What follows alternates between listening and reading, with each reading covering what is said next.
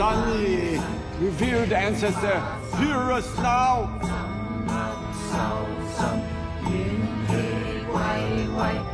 Guide this girl through her inner storm.